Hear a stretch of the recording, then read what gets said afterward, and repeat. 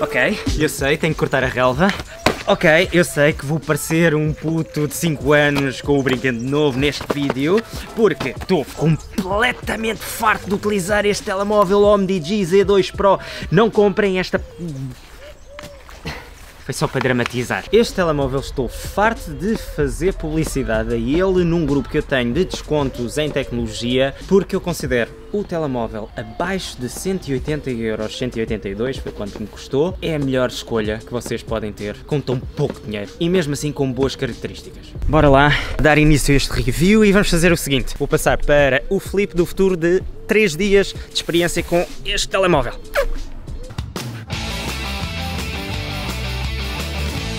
Não, não consegui resistir três dias, é o segundo dia e há aqui duas coisas que eu quero partilhar com vocês. Primeiro é o som, o que eu já estive a ouvir tem uma boa qualidade de som, consegue anular bem os barulhos assim de fundo, quando eu estou aqui a falar, o que é que vocês acham? Também tem a ver com a bitrate aqui da qualidade aqui do microfone. E depois a outra é qualidade de vídeo. Gosto, mas há aqui uma coisa boa e duas coisas más. Olha a focagem. Então, muito rápido. Pronto, afinal são duas coisas boas. Bom tempo assim de resposta na focagem. Pronto, estabilização eletrónica a 1080 pixels. Uma coisa má. Quando vocês começam a gravar a 4 capas, deixam de ter a estabilização eletrónica e fica assim uma imagem assim muito tremida. Boa qualidade, mas eu prefiro com a estabilização eletrónica. E depois a outra é que este telemóvel tem uma lente ultra angular, mas não dá para filmar, apenas dá para tirar fotografias. Passei alguns exemplos.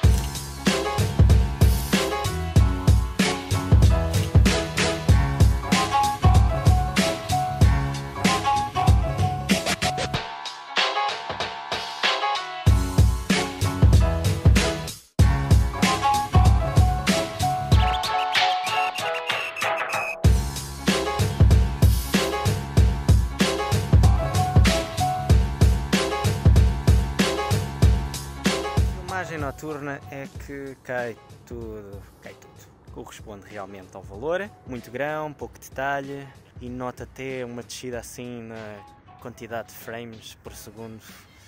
Parece que estou assim um bocadinho assim aos saltos. Com as câmaras traseiras também vai dar mais ou menos ao mesmo. Melhora um bocadinho. Atenção que eu estou aqui mesmo debaixo aqui de um candeeiro. Está um bocadinho melhor e tal. O som deste telemóvel eu gosto muito. Eu já vi telemóveis bem mais caros, principalmente a Xiaomi, sempre foram terríveis em termos de microfone, mas este, o som está bom. Mas pronto, esta é a qualidade de filmagem com as câmaras traseiras. Vamos lá uns exemplos assim, fotografias que também não é nada de especial. Tem night mode, é assim,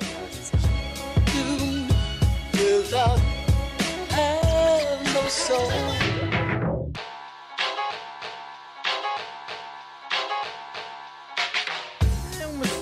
opinião da mesma pessoa dessas imagens que acabei de tirar, com processamento Night Shot, pá, nada mal. Se fizermos zoom, nota-se ali muito processamento e algum grão. E para terem um momento capturado assim de noite, safa, safa. Também posso contar com este telemóvel para isso. Bom, Não, deixa-me lá interromper este vídeo por duas coisas. Primeira, aqui o GTS, acho que já recebeu aqui agora uma atualização e o GPS já está mais preciso. Normalmente, comparado com o telemóvel, só tem aí cerca de 100 metros de diferença. E aí, epá, já é muito difícil analisar qual é que tens a razão. Depois, as cores deste, não. Aqui estes óculos, este laranja salta mais, este azul salta um bocadinho mais do que eu consigo ver aqui no ecrã. Não, vamos fazer assim, o flip de edição vai mostrar assim o nível de saturação que devia estar para parecer completamente realista. Mas isto é já eu ser muito picuinhas aqui com a câmera aqui da selfie. Porque de resto, valor e o que vocês têm de qualidade é bom. Ou então a saturação podia ser igual ao sensor de 48 megapixels aqui atrás. Mas aqui já acho que a saturação está um niquinho de nada elevado. Aqui não é assim tão verde como este. Ah, vem a diferença agora dos óculos. Conseguem ver? Salta um bocadinho mais. Epá, mas pronto, isto é já a ser muito picuinhas. Ah, bora. Uh, este filtro é giro. Ok, dentro das câmaras ainda há aqui uma coisa que eu vos quero mostrar. Ok, pode ser este exemplo. Vocês têm aqui uma função que podem fazer edição, ainda mandas a câmera abaixo, adjust, e vocês tiram um bocadinho de brightness, porque os chineses gostam de pôr tudo muito claro, nota-se logo uma personalidade diferente. Depois o contraste eu deixo exatamente igual e a saturação aumento também assim um niquinho. Pau!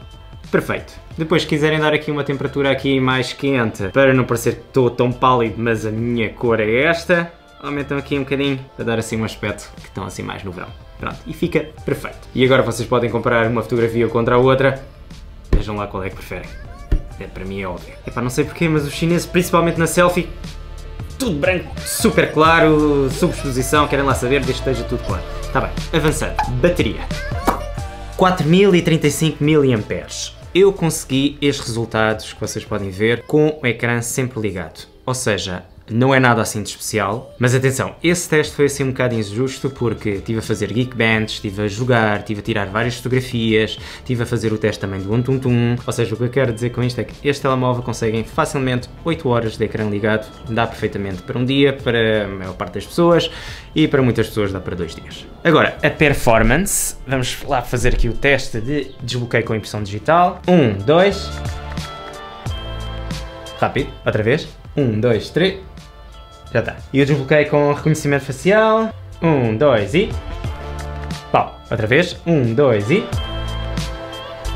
Também rápido. Mas há aqui um problema. Como esta versão tem 4 GB de memória e 128 de memória ROM, ROM excelente, mas a RAM é que está a tornar a experiência deste telemóvel um pouco mais lento. Mas atenção, eu passei do Realme X2 Pro com 12 GB de RAM para este de 4, é um terço dessa memória. Por isso, o que é que isso quer dizer na teoria? Tive este resultado no Antuntun, excelente para o Snapdragon 712, Geekbench 5 também teve este resultado no Single e no Multi, também bons resultados. Supostamente fica atrás do Samsung A70, e se vocês forem ver o valor do A70 comparado com este, ainda melhor são estes resultados. E no Slingshot Extreme teve este resultado. Bom, mas na prática, nestes últimos 3 dias, na utilização que eu tenho tido, é que quando tenho a app aberta, corre tudo bem, sinto um telemóvel assim fluido, não gaguejo, por exemplo, Facebook, Instagram, a fazer o scroll, a fazer todo assim o swipe para cima, a abrir as coisas. É um telemóvel que eu consigo viver e não tenho aqui frustração nenhuma de estar depois a demorar mesmo a fazer uploads dos vídeos no YouTube, nada disso. Jogos no PUBG, se vocês reduzirem depois as especificações para especificações assim médias, também corre bem. Outros títulos assim também pesados também corre bem mas a parte de abrir e depois abrir outras aplicações que vocês já tinham aberto no background, esta versão de 4 GB vê-se que está a voltar a carregar a aplicação, a abrir outra vez e não ficou a correr totalmente assim no background. É praticamente a única coisa negativa que eu tenho deste telemóvel. Mas fiquem descansados que mesmo com 4 GB eu continuo a ter aqui um telemóvel que vai me durar pelo menos mais dois ou três anos, porque as próprias empresas que desenvolvem as apps, seja de jogos, isto seja de Facebook, Instagram, seja o que for, sabem que em média os 4 GB ainda se vai manter durante largos anos e eles não querem sacrificar clientes por falta de RAM e preferem manter depois as apps com o mínimo possível para conseguir ainda cativar esses clientes, porque senão depois as pessoas não têm possibilidade de comprar outro telemóvel, é pá, não vou ter essa aplicação, não consigo instalar, não deixa nem instalar depois na uh, Play Store. Som. Vejam.